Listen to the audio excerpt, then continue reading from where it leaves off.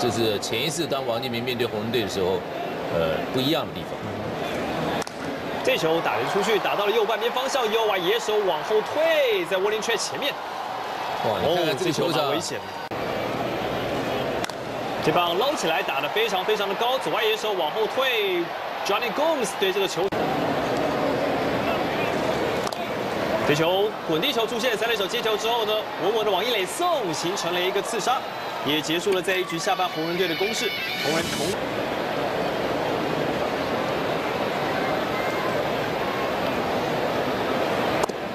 这球拉弓，还想在等待的情况下主审拉弓了。这个低角度的球获得青睐，也是王建民投出来第一 K。对，那个球是完美的一个投球，就在好就在外侧偏低的角落。我们来看这个 K 中，这个球就点到那个点，所以我这球捞起来打的高，左外野手已经是就定位。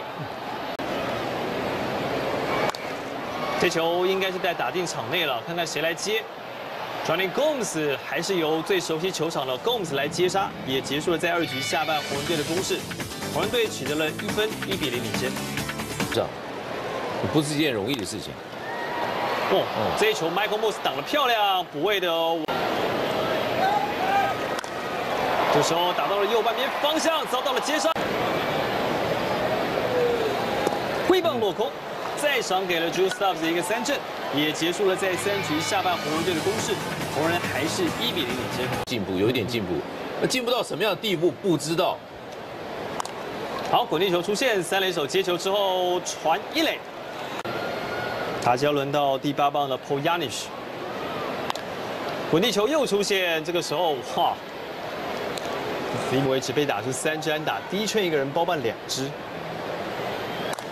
这球滚地球又出现，不要再失误了吧！Desmond 传一垒，也结束了在四局下半红人队的攻势，红人还是一比三落后。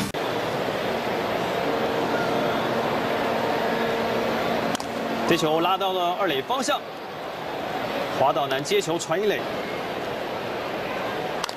这球打击出去打得非常高